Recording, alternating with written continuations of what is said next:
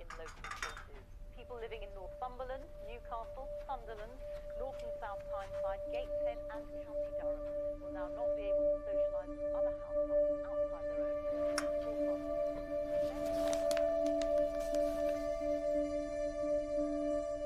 It was a unique case.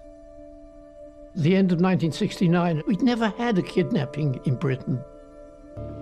The uh, chair was some disarray.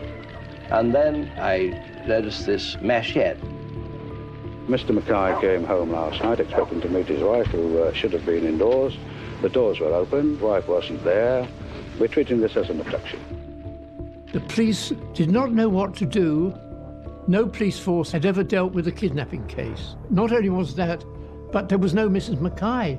There was no evidence that she was dead or alive. This woman is Mrs. McKay. She was wearing a medium green flecked knitted suit, skirt length just below the knee, probably wearing low-heeled shoes. To ask a million pounds ransom is just incredible anyway, and my mother hasn't any enemies. And I would say this to whoever has got my mother-in-law, he's not going to crack this family. We've got plenty of reserves yet. My heart went out to them. How can you suddenly lose a mother